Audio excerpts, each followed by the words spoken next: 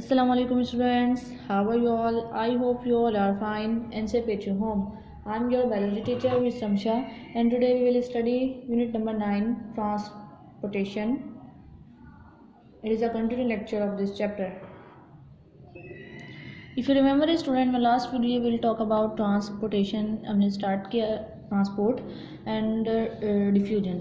But today we will study the next type of passive transport which is osmosis so definition क्या है osmosis की?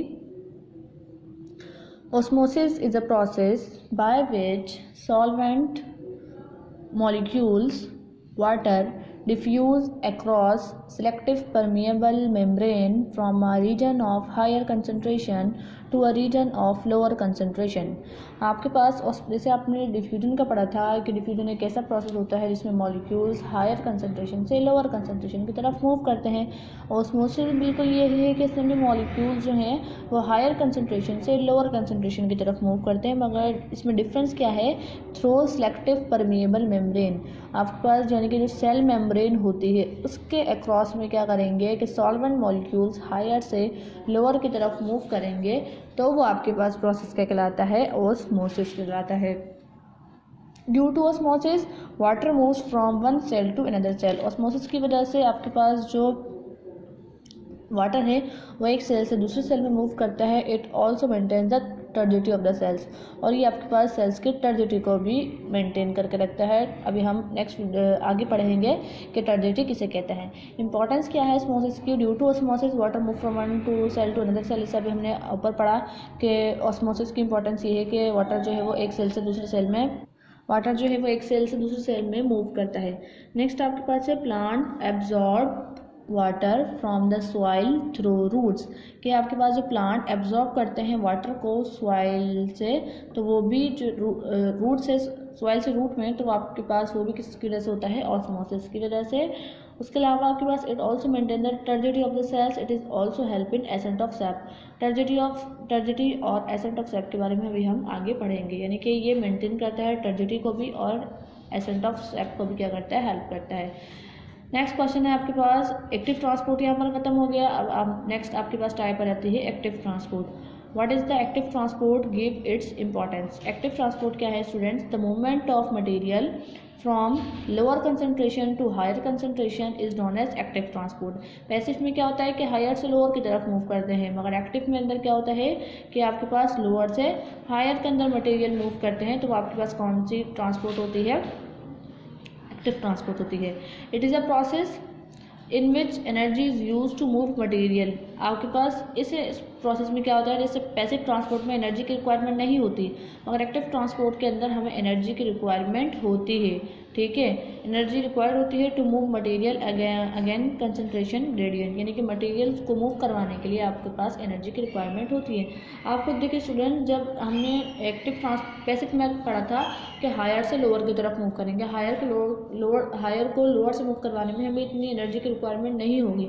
मगर आप किसी चीज़ को लोअर से हायर पे मूव करवाएँगे तो आपके पास वहाँ पर एनर्जी की रिक्वायरमेंट जो है वो होगी। ट्रैक्टिव ट्रांसपोर्ट में मॉलिक्यूल्स या जो मटेरियल होता है, वो हायर लोअर से हायर कंसनट्रेशन की तरफ़ मूव करता है और इसमें एनर्जी की रिक्वायरमेंट होती है उसको मूव करवाने के लिए। नेक्स्ट आपके पास इंपॉर्टेंस क्या है एक्टिव ट्रांसपोर्ट की? फ़र्स्ट इंपॉर्टेंस है आपके पास it help to maintain ionic and water balance between cells and extracellular fluid ये आपको मेंटेन करता है आयोनिक एंड वाटर बैलेंस यानी कि आइंस और वाटर जो है वो सेल्स के अंदर बैलेंस रहे। ये कौन हेल्प करता है? एक्टिव ट्रांसपोर्ट हेल्प करता है। उसके अलावा it enable cells to get rid of unwanted substances ये क्या करता है आपके पास एक्टिव ट्रांसपोर्ट क्या करती है? सेल को अनवांटेड मटेरियल सब्सटेंसेस जो हैं, वो उनको अनवांटेड मटेरियल को एक जगह से दूसरी जगह पहुँचाने में हेल्प करता है। It allows cells to take up nutrients even when their concentration outside the cell very low आपके पास जो है ये हेल्प करता है कि जो न्यूट्रिशन है आपके पास, यानी कि जो गज़ा है, वो आपके पास कंसनट्रेशन जो है, वो सेल से बाहर जो है वो ना निकल सके।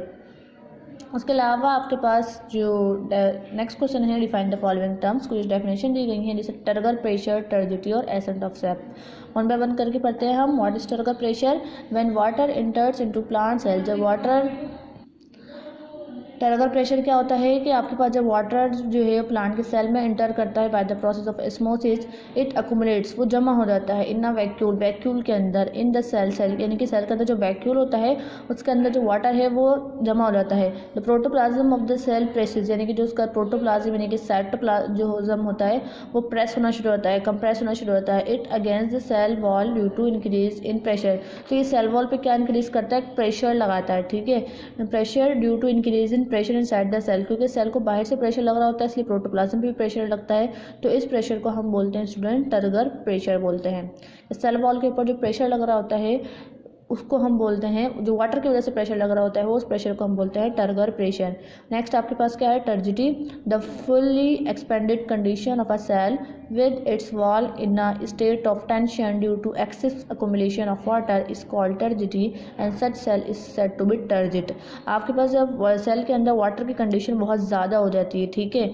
तो उस टाइम पर जो सेल्स है वो आपके पास टर्जिट कहलाते हैं, उसके अंदर टेंशन मतलब वो, उसके अंदर वाटर की कंसनट्रेशन इतनी ज़्यादा हो जाती है तो उस वक्त जो सेल है वो टर्जिट कहलाता है और ये प्रोसेस क्या कहलाता है? आपके पास टर्जिट कहलाता है।